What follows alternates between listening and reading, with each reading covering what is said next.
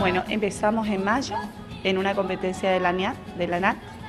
De ahí competimos eh, eh, clasificando para septiembre y en septiembre clasificamos para Tigre.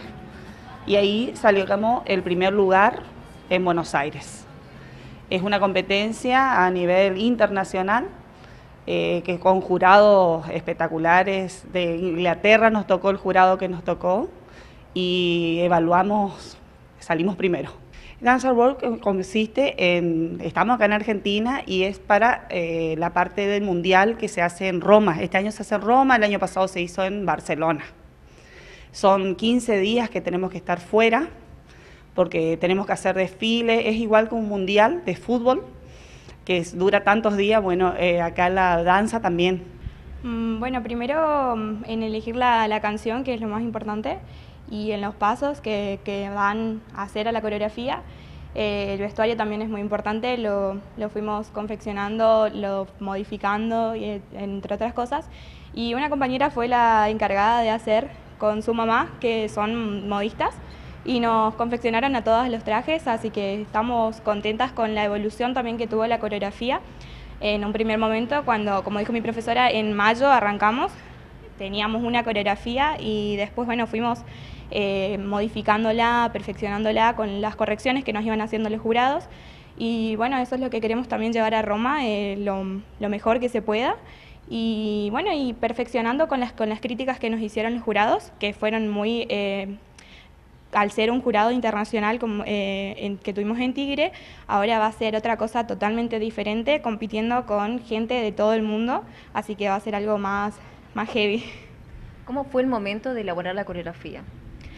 Y bueno, primero fuimos eh, eh, aportando pasos entre todas, porque todas tenemos varios años en la academia y como muchas somos profesoras.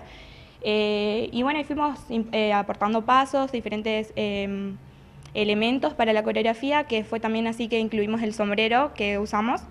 Eh, y bueno, y la vamos perfeccionando de a poco, vamos probando qué puede ser, si, si va o no va con, eh, con, esta, con esta parte de la música. Eh, por, hacemos partes en pareja también. Jugamos con todo el escenario, que es la, la idea que, que, siempre intentamos mantener. Eh, y bueno, en eso más que nada, o sea, y perfeccionar siempre o sea, nos grabamos, por ejemplo, eh, viendo a ver qué, bueno, qué, qué, qué, hay que corregir, qué brazo, qué pierna, qué lugar, que si queda algún hueco en alguna figura, porque también jugamos mucho con eso. Eh, la verdad que un orgullo muy grande porque vimos todo este tiempo el esfuerzo de las chicas, eh, mi hija que también las tareas del colegio, intercalar eso con los ensayos y la verdad que un orgullo muy grande, una satisfacción y, y a la vez en, ese espacio donde de un garage que ellos ensayaban y llegar, saber que lograron ese título y pueden ir a Roma, la verdad que nos llena de orgullo. Bueno, para nosotros es un viaje muy sacrificado, por lo cual necesitamos eh, ayuda de los diferentes municipios. Eh, en este momento estamos presentando diferentes carpetas a los diferentes organismos de la provincia y nada, tenemos eh, un Instagram en donde eh, nos encantaría que no, la gente que nos está viendo que nos ayude. Se llama Instagram, gitanas-chaco y bueno, ahí ponerse en contacto con nosotras. Y nada, eh, es, algo muy importante para nosotras, sea que eh, vamos a llevar nuestra cultura y nuestra disciplina que se conozca en Europa, y no solamente en Europa, sino en todo el, en todo, en todo el mundo.